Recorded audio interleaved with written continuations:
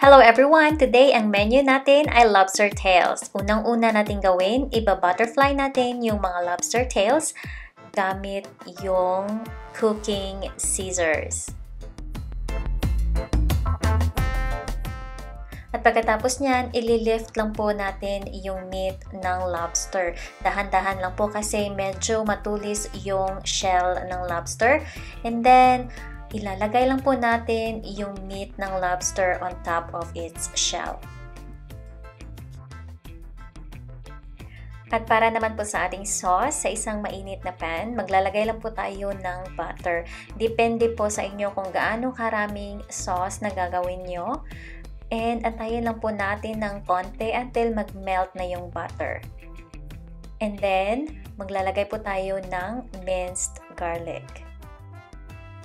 So, depende po sa inyo guys. Um, if medyo brownish yung garlic nyo, sa akin is sakto lang yung slightly brown lang yung garlic kasi ibibake pa siya natin. Then after that, maglalagay lang ako ng paprika.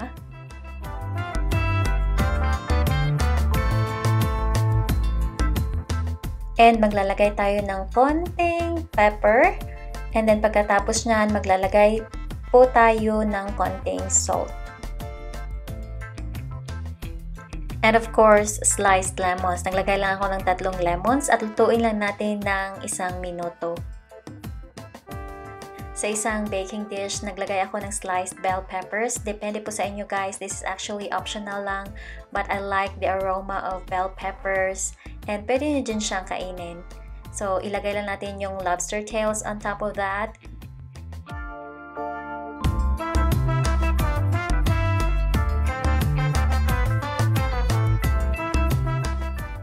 Now it's time to pour the sauce on top of the lobster tails.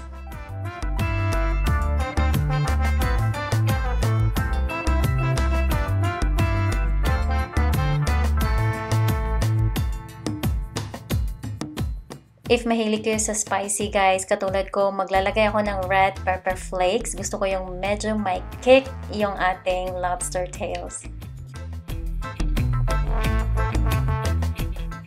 Also, naglagay ako ng dried parsley on top of my lobster tails. Depende sa inyo guys, pwede din kayo maglagay ng fresh cilantro or fresh parsley. And after that, ilagay natin yung mga sliced lemons on top of the lobster tails.